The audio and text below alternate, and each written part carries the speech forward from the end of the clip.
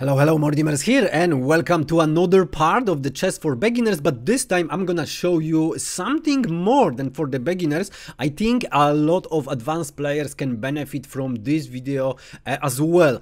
Uh, I'm gonna show you how to deliver the checkmate with two bishops. So first thing first, uh, at the beginning of the game of course we have the, the light square bishop, dark square bishop, uh, so only if we do some under promotion that's possible that we're gonna have, for example, two light square bishops and we are not interested uh, in this case we cannot of course um, deliver the checkmate. But with the opposite colors bishops of course this is possible. Now i'm gonna show you the method which is very very easy to remember at the first it can be a little bit counter logical however it works as a charm. So i was a, a, little bit suspicious but this method is is just amazing.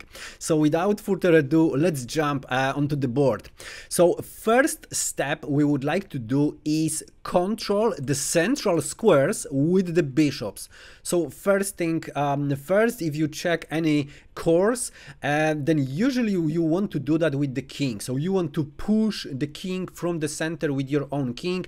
You have to you want to gain the space. But in this method you want to set up your bishops um, on the longest diagonal. So how to do that? This bishop has to be on um, this diagonal of course uh, and this bishop has to be on this diagonal as you see the king is blocking so uh, it's not that the easiest position ever uh, first what we want to do is bring the bishop to this diagonal. Uh, so that's the uh, part of the first step. And now it doesn't really matter where the king goes. Uh, if the king uh, want to harass the bishop we just move the bishop. Everything is is fine here. Uh, the king goes to the center of course. Uh, the king opposite color king wants to always go to the center as it can be checkmated only on the edge or in the corner. And we're gonna um, deliver the checkmate to the corner because it's the easiest way to deliver the checkmate uh, and now, once this is done, we set up these two bishops um, together. As you already see, uh, they control a lot of squares around so the king has not many squares to go actually and the king also controls in this case um, this square. Doesn't really matter uh, the king has to move from the center let's say here and now bishop e5 so we have this bishop on this diagonal this bishop on this diagonal uh, and it's pretty pretty uh, logical now because this bishop controls these squares and this bishop controls this square so the king cannot get to the center. Uh, you see that already we have have king c4 maybe the king would like to go here but what we want to do in the second step is bring both of the bishop to the center because once the bishops are uh, in the center they cannot be approached by the king. Uh, they can be approached only from this side or this side but it's not even possible once they are in opposition to the to the king because look what they control. They control all of the squares and the king cannot attack the bishops from the from the flank. So now it's completely safe for the white pieces uh, to move the king. Uh, now where to move the king? This is the third step and the king we want to move the king to this square or this square. It doesn't really matter because everything is symmetrical of course uh, and let's just do it. So this is another step. Uh, the king stays um, as close to the center as possible. We just follow. And now this is not possible so we have to just make a waiting move. It doesn't really matter. Uh, and finally we got this position. Now um, we achieved that. And what we want to do because uh, for now the king stays in this uh, area, uh, there is the area where uh, the king has only 12 squares to move.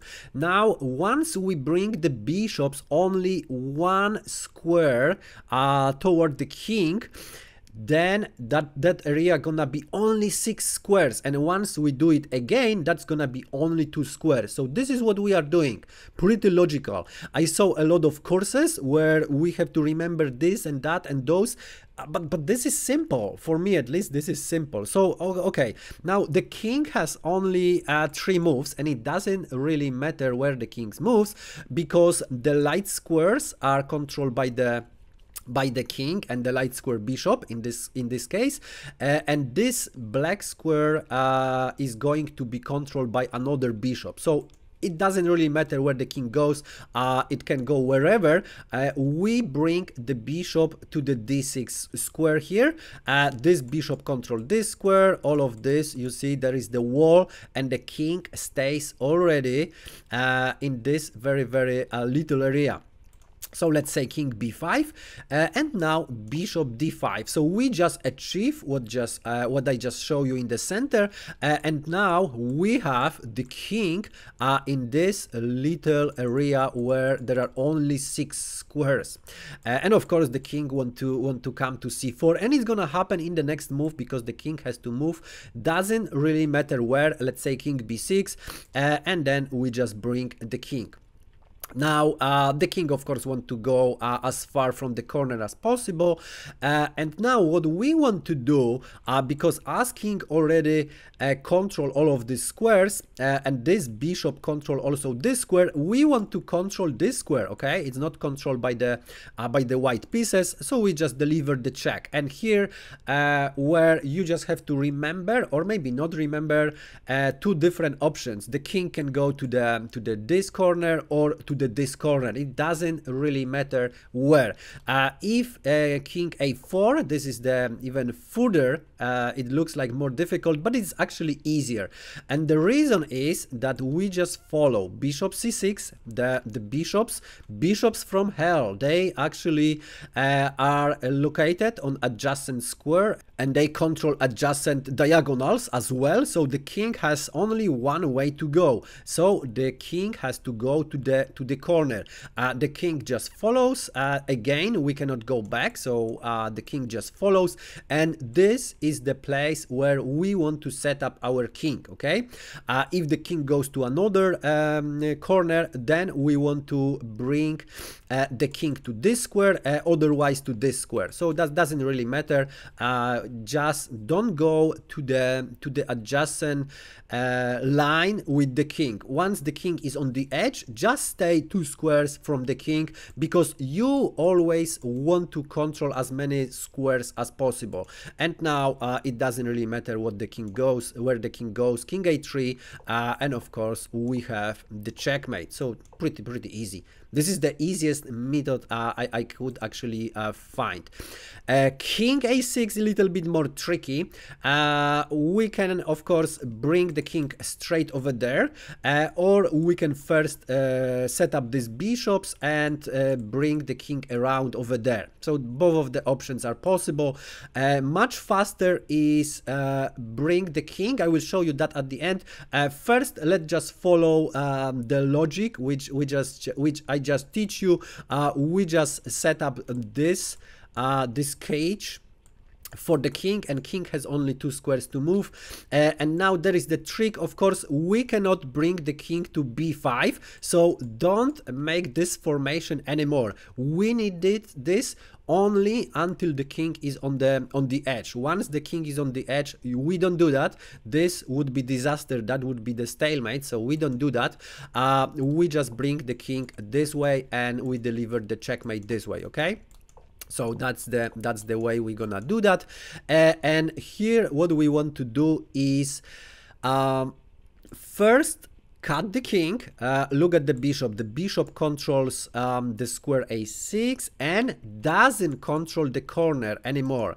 So the king goes over there and now we don't bring the bishop here because that would be the stalemate of course but rather make the waiting move. So we want this king actually to come back because we want to deliver the check uh, and then checkmate in the next move. So wherever we go on this diagonal uh, it's fine uh, of course except the, the, the 8 square that's obvious.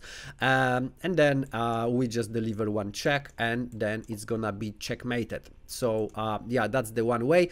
Or we can bring the king to the c7 and do the same. Now the reason for that is that these bishops uh, already control all of the squares around and together with the king and with this bishop um, control all of these uh, squares or even this square uh, that the king has nowhere to go. So we have time to actually uh, bring the king over there. So this is the fastest method here uh, which you don't need to even remember because you can go uh, with the king around but this is much faster you just bring the king here uh, and now uh, you deliver the check. So you check this bishop remember uh, always controls this square uh, the, the king has to go and look at this. This bishop was controlling the corner. Now we have these two squares. So again this is the box uh, where the king has to stay there. So all we have to do is make the space for for this bishop. So let's say bishop f4 there is only one move uh, and the same way we deliver deliver the checkmate. So it's a completely the easiest possible method I could find. Um, and yeah, I hope you like it. If you like it, press like. I, I love this method a lot. And um, if you don't like it, just press unlike. And if you don't want to miss other, the very, very uh, simple and effective methods, press subscribe, smash the bell button. Thanks for watching and see you in the next one.